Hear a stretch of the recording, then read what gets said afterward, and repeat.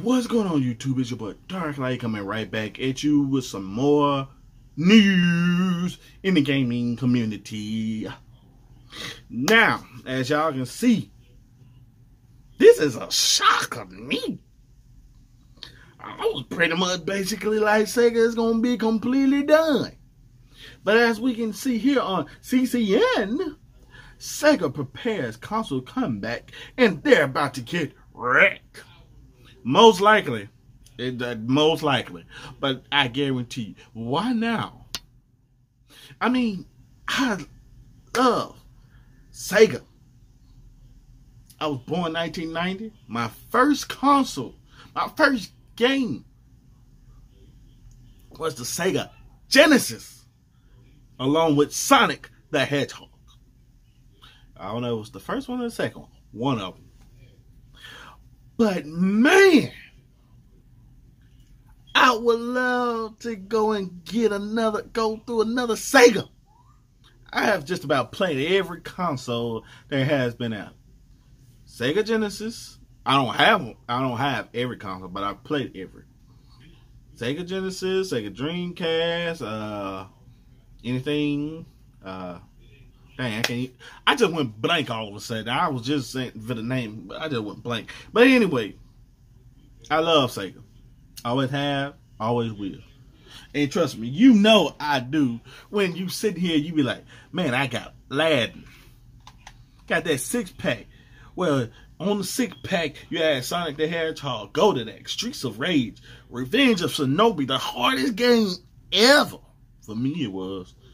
I don't know about everybody else. Columns, Super Hang On. Then you had Shinobi 3. Bro, I mean, look, trust me. Look, look, look, look here. These, this is what I was. Now, this ain't all of them, you know. Earthworm Jim, NCAA, Jurassic Park. This is all scratched up, but this is the Ninja Turtle.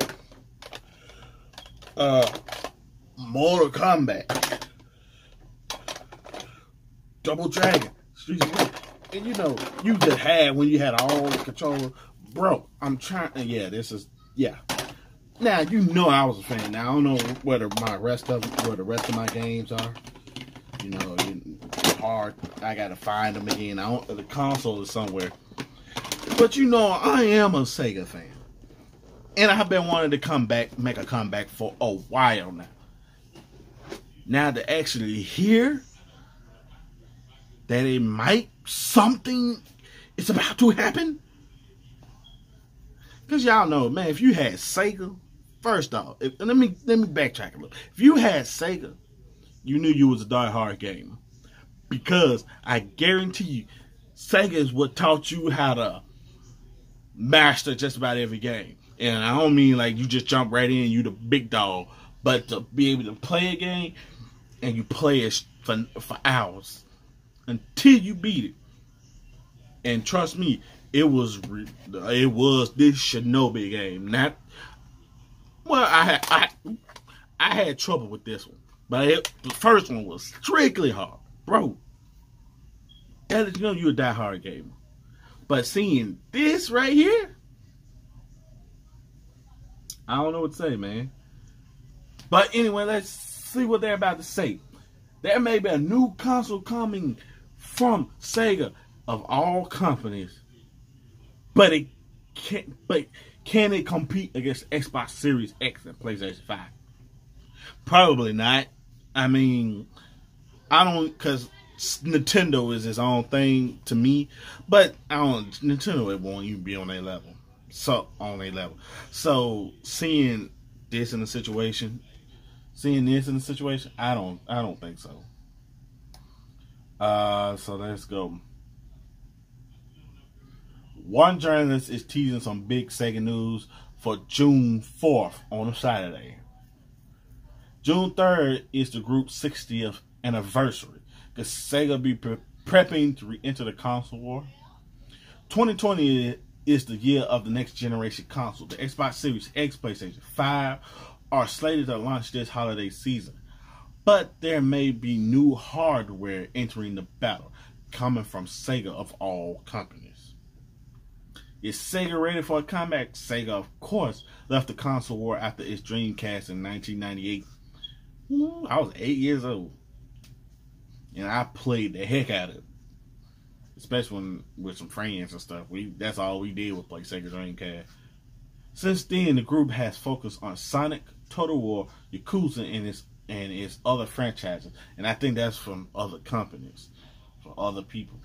However, one Japanese journalist, journalist Shinji Nishikawa, claimed to have a huge scoop on Sega in a recent live stream that it that and it should be shared in the June 4th issue of Famitsu, according to a report from Gematsu.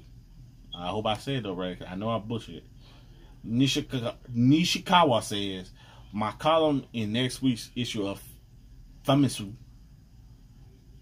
is crazy. I have a, I got a huge scoop. It's a world premiere article, and in and an exclusive. It may not be Nikkei or Weekly Bushum Basham, but if you want to know if it's a big scoop, it's totally. And then he confirms later on, he's talking about Sega. Okay.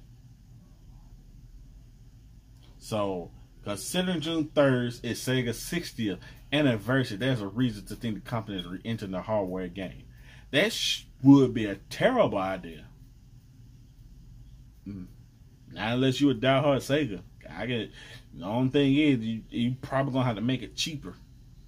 That's the only way. I mean, I don't know if I'm willing to spend a good five hundred dollars, four hundred dollars on a whole new Sega, unless it got some stuff, some brand new stuff that they've been updating way beyond P- PlayStation, the PS5, and Xbox. Nishikawa notes his scoop isn't about a Dreamcast 2, but who's to say? Sega won't release a brand new console for its big anniversary. Now, after all, the group has released many versions of its old hardware over the years. Now that would have been cool if they just they've been working on this system for years, and all of a sudden they just come out the blue, bam. That would that would first off that would be messed up. That would be cool. Second of all, it'd be like, wait, what? We we should have been shocked as Sega fans. Also, earlier this year, Sega revealed a new character related to his brand. This character name is Sega Shiro portrayed by Maito, uh, Monto Fujioka. Fuji. I'm just saying Mount Fuji. Why is that notable? Well, Mato is the son of Hiroguchi, Hiroshi Fujioka, who portrayed the Sagata Senshiro character used to promote the Sega Saturn in the mid 90s. Hmm. Why follow up a marketable character if you're not following up on the product he was meant for. It's almost as if Sega is gearing up for a big advertisement push, advertising push. The competition is too heavy. The thing is, a new console would mean competing against hardware giants Nintendo, Microsoft, Sony. We're already waiting on Xbox Series X and PlayStation 5 price points. Who wants to save another save for another console? Me? Plus, the world is already in a financial struggle due to the pandemic.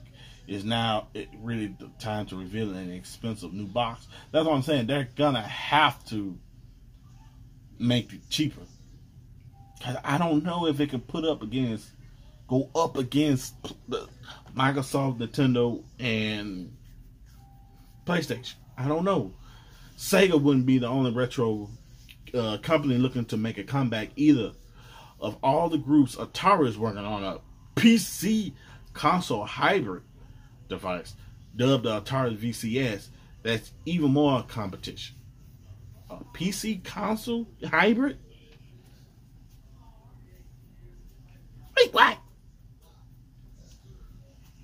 We'll know for sure next week, but Sega should absolutely be wary, worry, the wary the world can only afford so many consoles. Ooh. Well, I mean, what do y'all think? What do y'all think? like I said, in my mind, I think they're gonna have to make this cheaper. Cause I don't think out of all this time since what 1998 was the last official console for Sega. Then they teamed. I think they teamed up with uh, Microsoft, Xbox. Y'all let me know. I think that's what happened. Something happened between Sega and Microsoft. And they start and Microsoft started making their games. Some people say the uh, original Xbox was pretty much like hardware for a new Sega. I mean, the Sega Dreamcast too. But who knows? I mean, I, I don't know. Because you talking about at all, all these years since 1998. It's 2020. That is that's 22 years, I believe. Let me see. 2020. Yeah, that's 22 years. That's a very long time unless you've been learning a bunch of stuff to make the find a way to find the stuff people like and hate. I mean that that now that would that's that's one way to think. If you're gonna build a whole game system, go through the years of what people like, listen to what pe- to the fans like, the do's and don'ts of video games.